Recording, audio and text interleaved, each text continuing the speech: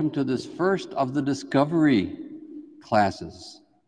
This should be, uh, this is going to be an exciting journey. We're going to be taking a trip. We're going to be taking a trip to God in the next several weeks. I apologize that we're starting a couple of weeks late, but uh, we are at least starting. So uh, let's begin tonight with uh, an Our Father. Let's begin in the name of the Father, and of the Son, and of the Holy Spirit. Our Father, who art in heaven, hallowed be thy name. Thy kingdom come, thy will be done on earth as it is in heaven. Give us this day our daily bread, and forgive us our trespasses, as we forgive those who trespass against us. And lead us not into temptation, but deliver us from evil. In the name of the Father, the Son, and the Holy Spirit. Amen. So I'll start with a, a, personal story. Happened to me a couple of decades ago. And uh, one of our daughters always liked to, to do these, these radio uh, ticket things. You know, you, you call in and you get tickets to various events. And so she was always trying to call in for tickets to this or that. And she got tickets to a Hubble telescope exhibit. Now, this was in the late 1990s, and so the Hubble telescope wasn't really new, but uh, we know we didn't have all of the uh, images uh, available to us like we do now because you know the internet was not uh, as, as well utilized then as it is now. And, um, so the Hubble telescope was kind of a big deal, and they had a nice uh, exhibit of it uh, there at Union Station. And so we went to look at the at the these photographs from the Hubble telescope, and they were just fascinating. They were just so gorgeous. The the beauty of um, the various nebula and, uh, and, the, and the various uh, space photographs that were being taken by the Hubble telescope were just fascinating and uh, were really something of, of uh, a considerable beauty. Well, and I came across one photograph in particular, and I, I remember it very vividly. It was, it was a, a nice, beautiful photograph, and it was all these stars of varying colors and shapes. And so it was, it was eye catching because usually I think of stars as just being, you know, points of light, but these are all kinds of different colors and shapes. And then as I'm reading the, the caption about it, I discovered these are, these are not stars, actually. These are all photographs of galaxies. That there were about 700 galaxies pictured in this one image, which was described as being taken uh, through a dark part of the sky that was about the size of a postage stamp. And just because our own solar system and planet is kind of on the edge of our galaxy, with some, there are a few small places that we can actually peer outside our galaxy into the spaces beyond. And we've all kind of heard the numbers, you know, trillions of galaxies, each having billions of stars. And that, that number just doesn't mean much to us. But yet, as I looked at this particular photograph that represented about a postage stamp size piece of the night sky and saw about 700 galaxies in what was referred to as at that time as the deep field photograph my first reaction was, My God is too small. That I'm looking at this piece of the universe that is so huge and so massive. I thought, I need to expand my understanding of God to fit this huge understanding that we have of the universe. And this is an issue I think that a lot of people have. We see people uh, coming up in life, and of course, you know how it is. We, we, we bring them to, uh, to church. They go through their, you know, young people, they go through their PSR classes and they prepare for their first communion and they learn some Bible stories and they color some pictures of Jesus and they, they memorize some prayers and, they, and they've developed, you know, a seven year old's understanding of God. And indeed, they, you know, they, they can kind of get through life at least through the beginning of life, that way. They have an understanding of God, and, and that's okay for them. And some of them may come back for confirmation, but you know, I used to teach confirmation class. And quite frankly, one of the things that um, I noticed in teaching uh, to go to confirm to be confirmed, their, their graduation stamp and, and move on, they're satisfying their parents. And their biggest interest, of course, is you know, developing boyfriends and girlfriends, and they're thinking maybe about college or, or life or career. This relationship that, that we, we're trying to bring them to a point of, of a knowledge of God is just not foremost on their minds at that time. So they have, you know, a lot of Catholics really haven't had a great deal of theological formation outside of early childhood. And then what happens is they go to college, right? I think we've seen this happen with a lot of people, with a lot of perhaps of, of our friends or, or of our, our relatives, maybe our own children. They go to college and suddenly the universe seems bigger than God. They begin to, to see as, as they start to go through the college classes how huge the world is and how big the universe is. And, and the little concept of God they developed in their PSR classes when they were six or seven years old just doesn't seem to make it anymore. And in fact, how many people have you known that I've known that at some point in their early 20s, they stop praying to God and they start praying to the universe. After all, goodness gracious, the universe seems bigger than, to them than God is. And they begin to pray to the universe and talk about the universe does this and the universe does that. They've really shifted their understanding away from a God who is bigger than the universe to some kind of God that's maybe smaller than the universe. But it all comes down to the, this issue of, of their own understanding of God. They've never grown from a childhood understanding of God into an adult understanding of God. And because of that, they don't know exactly where God fits in their life anymore.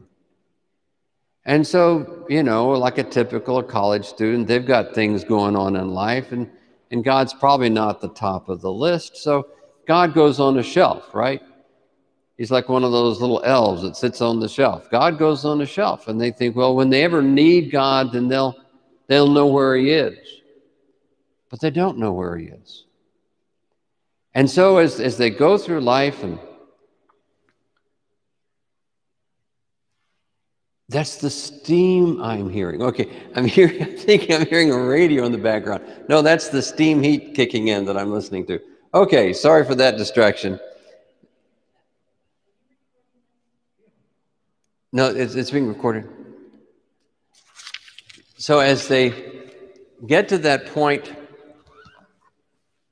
that they need God, they just don't know where to find Him. They're not sure how to relate to Him. They've, they've, they've kind of become lost.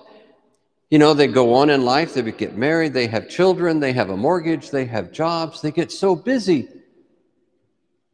But then something happens that, that draws them that they need God and they don't know where to find them. Now, the questions that, that come to mind that we face in life is that, you know, when you've got the mortgage due and there's not enough money to make the mortgage because you've had a refrigerator broke down and you had to pay for a new refrigerator and, and your car's breaking down, this, these always, they always seem to snowball, right? And, and you get to that point, you're not sure how you're going to make it to the, in, into the next month. And the question is, is your God bigger than that? Or is the universe going to get you through that situation?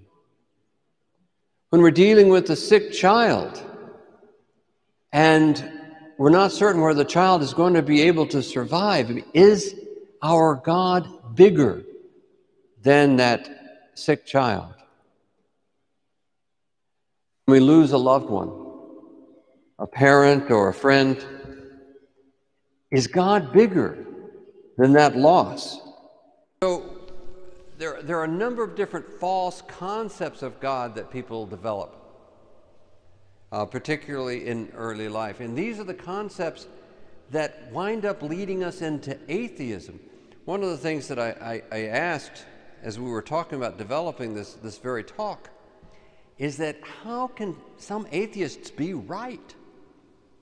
We don't want to think atheists are right, but they can be right because their concept of God is one such that that God does not exist.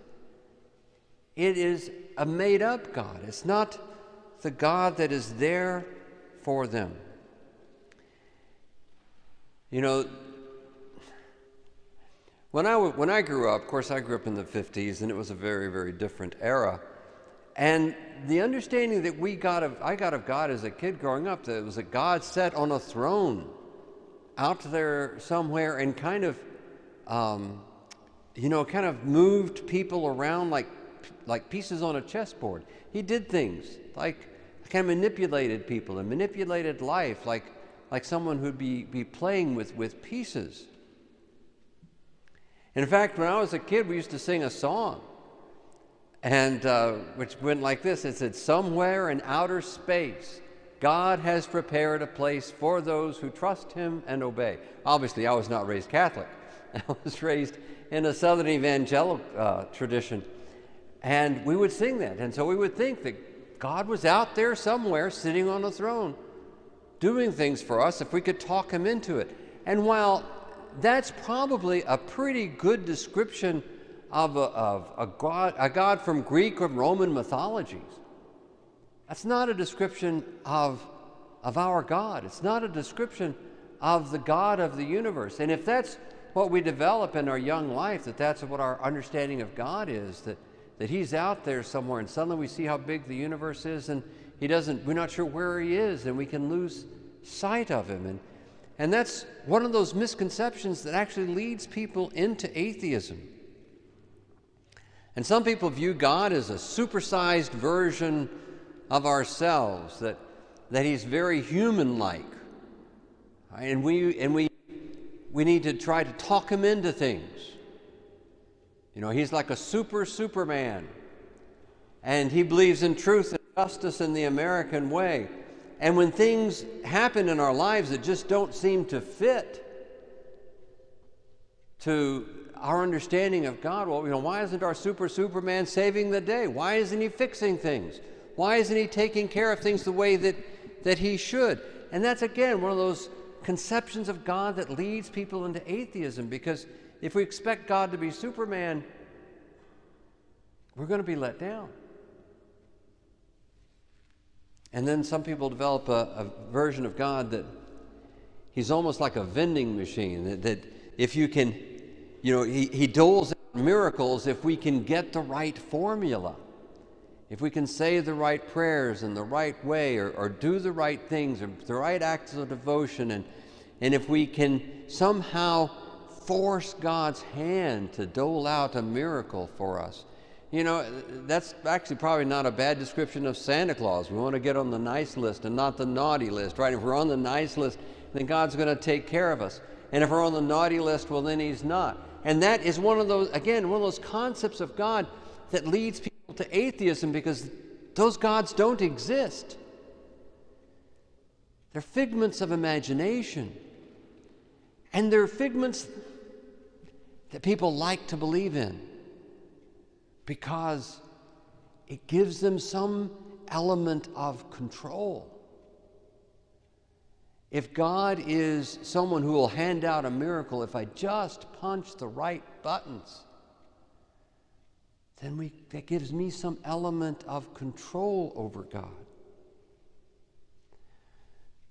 But all of those perceptions of God lead to confusion disillusionment, disappointment with God, and ultimately to loss of faith.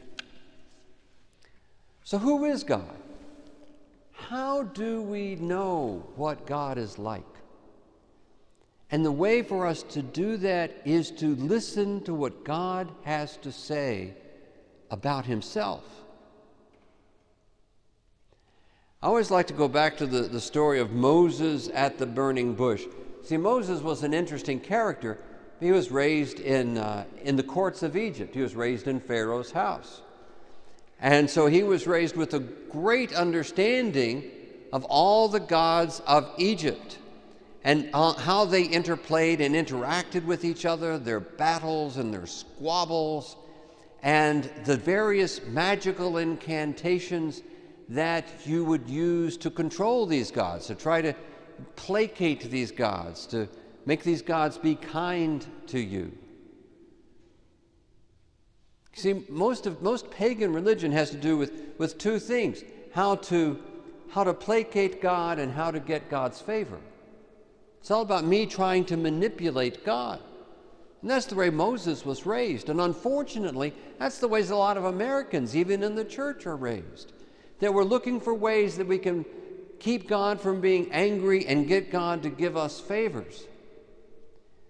But Moses, raised in, in, in the house of Egypt, he comes across a very strange event. He comes across a burning bush. There's a bush that is afire, but it's not being consumed.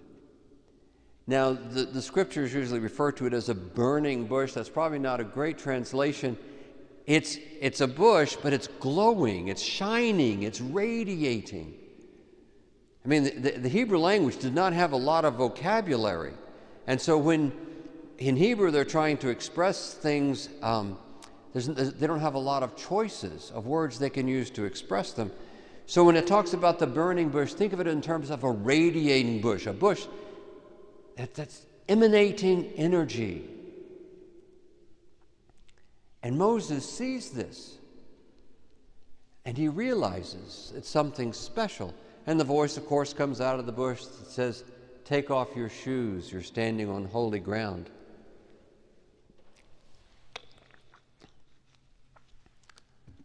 And so Moses does that. He takes off his shoes. He's standing there before this, this glowing or radiating, burning bush.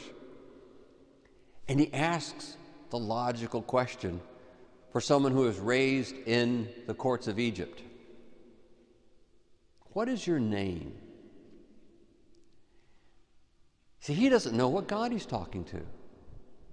He wants to know what God this is. What's this God's name?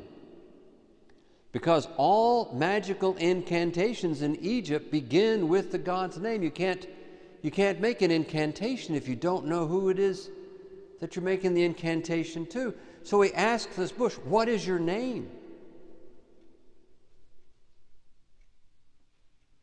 And then comes the reply. That is one of the most profound experiences of any human anywhere at any time. God responds to Moses and he says, I am.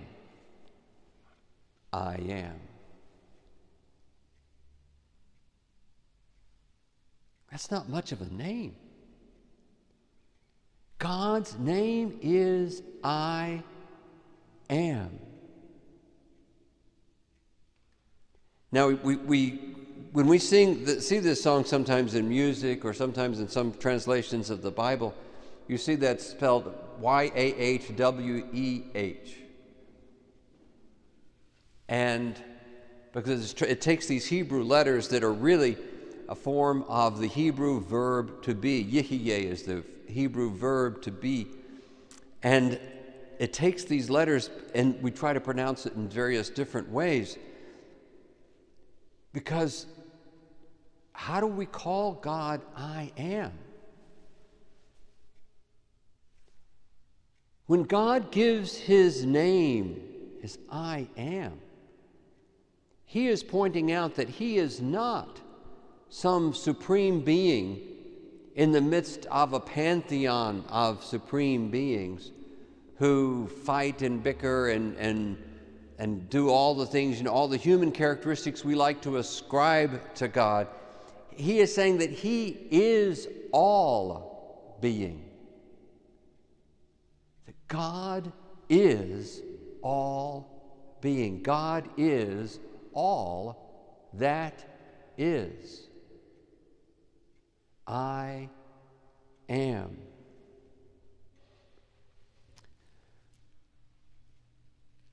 But then he goes on and he specifies, he clarifies that with, again, two more Hebrew words. And one of those words is chesed. And chesed is, again, a word because Hebrew's got such a limited vocabulary that can be translated in a lot of different ways, a lot of different nuances to that word. But the word can be translated love, compassion, mercy, pity. God says that He is not a being, supreme or otherwise. God is all being, and that being is interacts with us in love and mercy, compassion, kindness. God defines himself as being that interacts in love, mercy, compassion, and kindness. And then there's a second Hebrew word, and when you read in the scriptures, you could, you, you'll see how that all plays out. But that second Hebrew word is emet, which again can be translated a number of different ways truth, faithfulness, fidelity, constancy. God is explaining who He is by what He is. And He is all that is. And He interacts with us through love and through truth.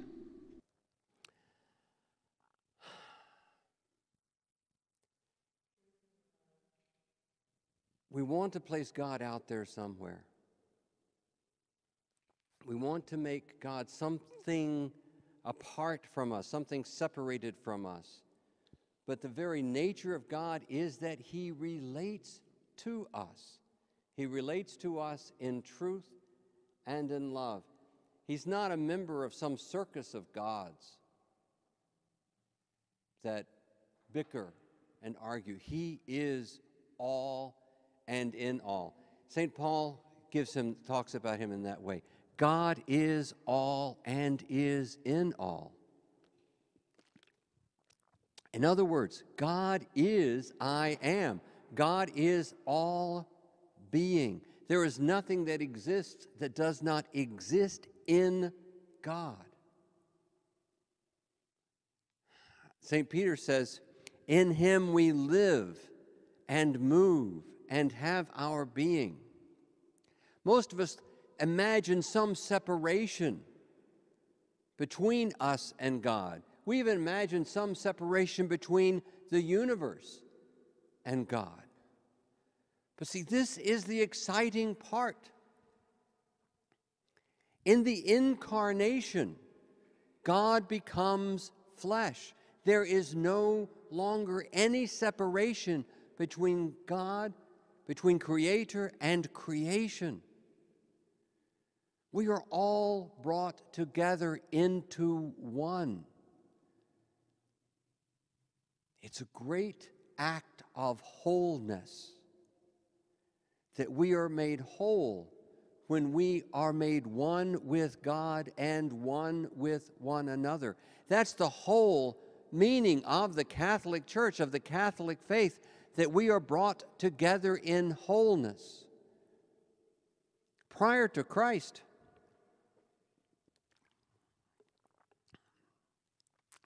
Every place had a god, and they were considered to be lo- local. They, they, were, they were just little local deities that, that you would have.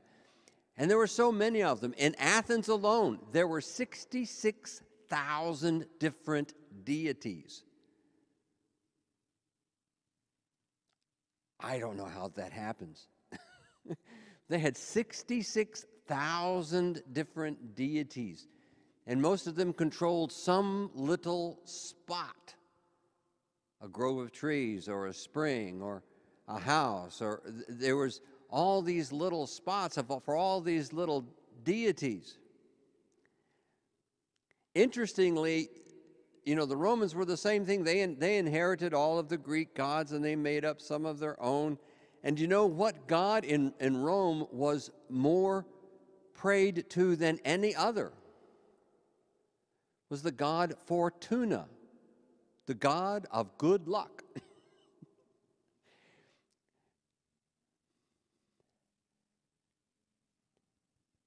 people have this have always had this desire to see God as separated from them and trying to placate God or trying to win his favor, try to get something from God. But in the incarnation, we see that there is no separation between creator and creation. God became flesh. He is all and He is in all. In Him we live and move and have our being. One of the things that I've noticed, and, and I've talked to so many people who have had this experience, I've had this experience myself before a number of times. And when you're, you know, you, you get it, you're in prayer, and suddenly everything seems to change. That somehow your connection to God is so much more intense. And you realize that you have connected somehow to God. And the most common description I have ever heard of that experience is, is this people said it was like I was suddenly floating in an ocean of love. And some of you may have had that very experience. Or you've had an experience that you say, okay, that, that sounds right. Floating in an ocean of love consumed by God all around because in Him we live and move and are. The story goes of, of a couple of fish who were swimming around and they were um, talking about fish things, you know, whatever fish talk about. And uh, they, as they were swimming, another fish was the other direction towards them. And they paused and they you know, exchanged fish niceties. And before they separated to go back you know, to their uh, opposite directions, the one fish said to the other two, he said, Have a good day.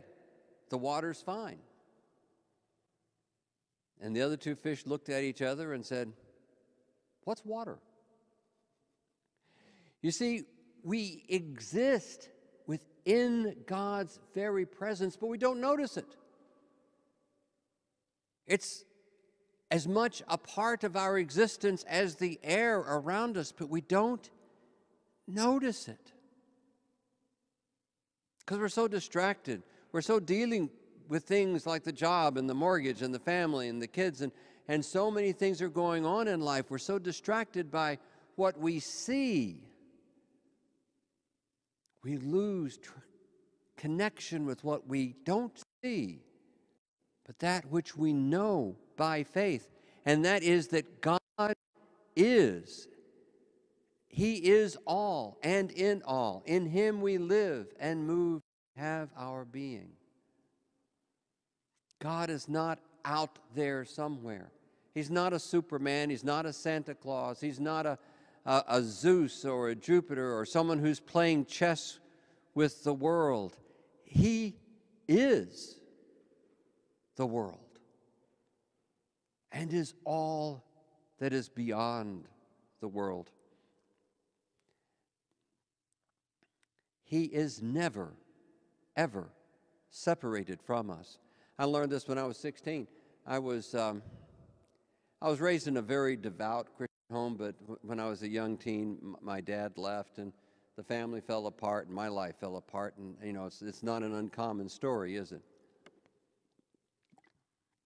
And you know, as, as a middle teen, I did what middle teens do when they uh, their life is falling apart, and I became more and more rebellious, and you know, started carrying a switchblade to school, and got into fights, started drinking heavily, and um, I remember when I was 16 years old, I ran. A, I was with a bunch of Christians, Jesus people. We talk. I've talked about Jesus people before. Jesus people. They're all excited. They're playing guitars in the parks. You know, they're all happy and they have a great peace in their life, and I didn't have any peace.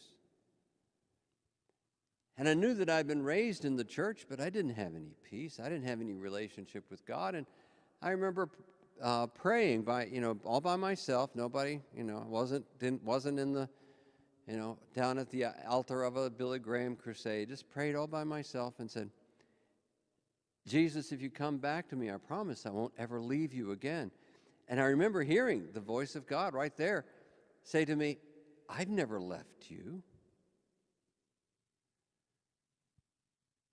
He can't leave us.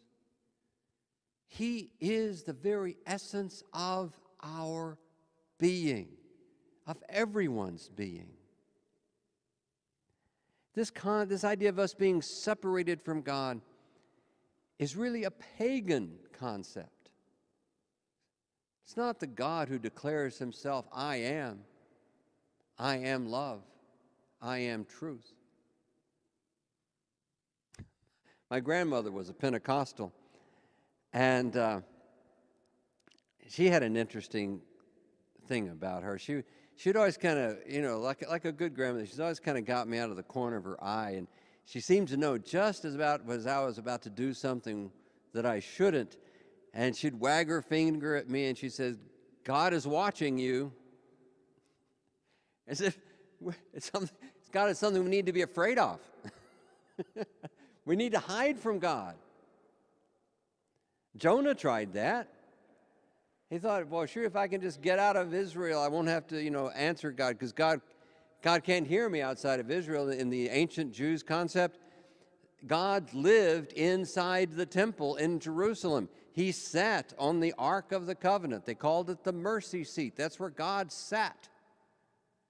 So Jonah doesn't like what God wants him to do, so he says, Well, I'll just leave town. God won't be able to see me.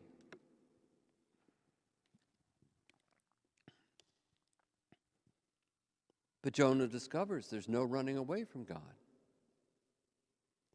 I mean, the prophets were constantly trying to move people to understand God is the God of the whole earth. God is the God of the whole universe. He doesn't live in some little temple, He doesn't sit on top of those golden angels. He is all and is in all.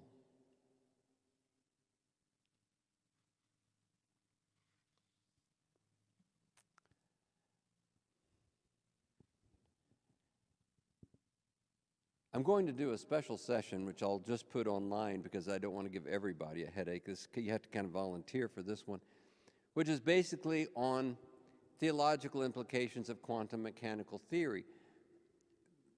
And, and if, if just that phrase is frightening to you, that's probably not a session you want to, to, to listen to. But I want to make this point. We all, you know, when you go to school, not when I went to school, but if you went to school after, you know, it, where you, you, you learn a little bit more about, you know, the inner workings of matter, and that matter is itself is almost an illusion. It's, it's really energy. Everything, everything that the, the world is made up is, is energy at a vibration, and you slow the vibrations down, and, and everything sinks into a singularity. And the entire earth will fit inside a teacup if you slow the vibrations down. You speed the vibrations up too much, and then you have thermonuclear explosions, right? The energy, it, matter ceases to exist, and all just turns into energy and just goes everywhere. But you dig down beyond that, but jump beyond the, the atomic level into the uh, the quarks, the upside up quarks, down quarks, sideways quarks, you know, and and all the various little, what is there, 137 identified uh, particle, subatomic particles now. They keep trying to, they keep discovering new ones. You dig down past that, and you know what the entire universe is made out of? Tiny, tiny strings that vibrate in 11 dimensions. And the harmony created by these tiny strings de- develop generates the energy that we see that eventually we see as matter. In other words, in every atom of every cell of your being, God is singing to you a love song. The entire universe is made of music.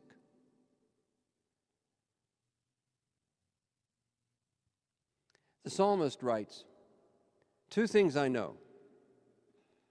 With God belong to God belong all power. And with you, O Lord, is unfailing love. When we begin to see that the entire universe exists because of this divine energy, this divine power that permeates everything. Suddenly, the incarnation doesn't just make sense, it becomes a necessity for the universe to function. The creator and creation are by nature one and the same.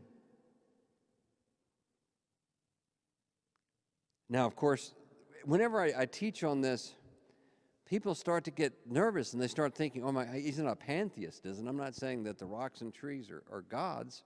No, not at all. But that everything that exists exists because it exists in God, who is I am, who is all being, and who relates to us we experience God through his nature of truth and his nature of love.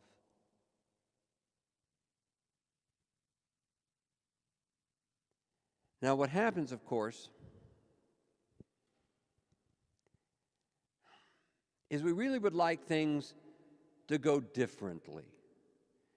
Picture it this way God has given to each of us this tremendous privilege of existence in a physical universe.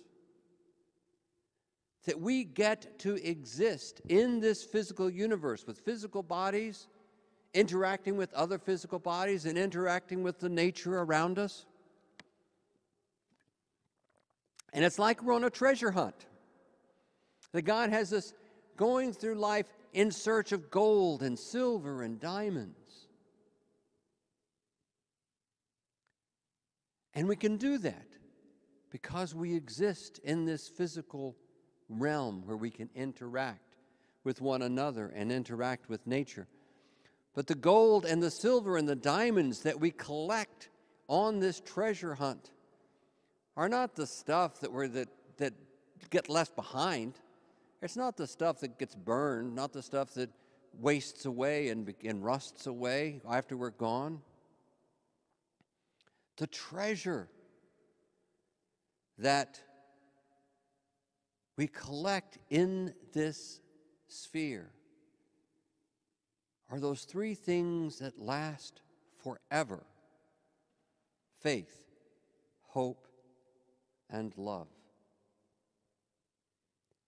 And as we go through this life, storing up in this treasure house of heaven the increase of faith, hope, and love in our lives, we are transformed into the very image of God Himself. So that when we go to be with Him, we will be unified with Him and one with Him. I mean, most of us are much more concerned about amassing the easy stuff, right? I am. We like the easy stuff, not the hard stuff like faith, hope, and love that requires perseverance and patience and, and giving and sharing and self sacrifice. We would all think, I think, kind of want life to be a little easier. But Jesus made a very interesting promise. He did not promise our lives would be easier. In fact, he promised the exact opposite. He said, In this world you will have trouble. The world hated me. You don't think they're not going, it's not going to hate you? But be of good cheer. I have overcome the world. I am with you always to the end of the age. I know sometimes we would like to have that Superman God that we could might talk into things,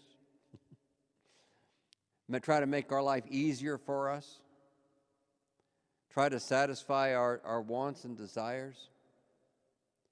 But that's not God. God is the one who,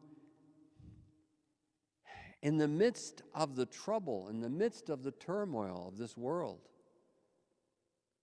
He doesn't take the trouble away. He just walks with us through it because He fills our very being with Himself.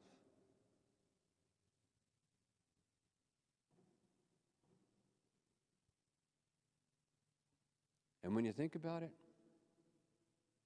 that's enough. So I wanted to uh, try to open it up for, for questions. Um, and then I was going to sing a song because the cantor who was supposed to sing didn't show up. So I guess couldn't make it. So, um, any questions? I've got your microphone now because my microphone quit. Anybody got any questions? Cheryl.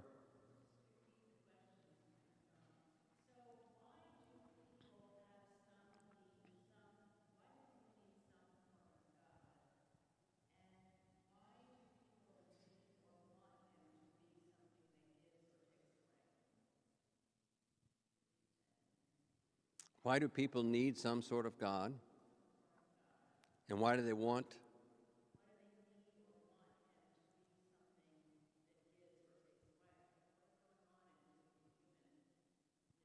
That's an excellent question. Um, I thought I just did. Why do people need some sort of God, and why do they want or need God to be someone who gives or takes away? All right. Um, you know, it's a fascinating thing that of all the creatures on this planet, which there are millions of species of creatures on this planet, only one species prays. That's us. Human beings are hardwired to know God. The scripture puts it this way that we are made in God's image. But what that really means is, is that we are created with a spiritual nature in which we are hardwired to know God. And so we, all humans, have this need to have that, that experience with God, that knowledge of God satisfied. However, the scripture talks about the fall of Adam and Eve at the, at the very essence of that story, Adam and Eve, you know, the serpent tempts Eve, says, You will be like God. There's a desire, a selfish desire on the part of humanity to control God, to be able to use God for their own purposes whether they're looking for the Santa Claus God or the vending machine God or the Superman God, some way in which we can, by our action, bring God to do what we want. This is the difference between faith and magic. Magic is all about getting God to do what I want. Faith is me trusting God and entrusting myself to what God wants, giving myself to God. And humanity, unre- unrepentant humanity, unconverted humanity, let me say, prefers magic to faith, prefers to manipulate and get from God rather than give ourselves to Him. Did that answer your question? Right. Other questions?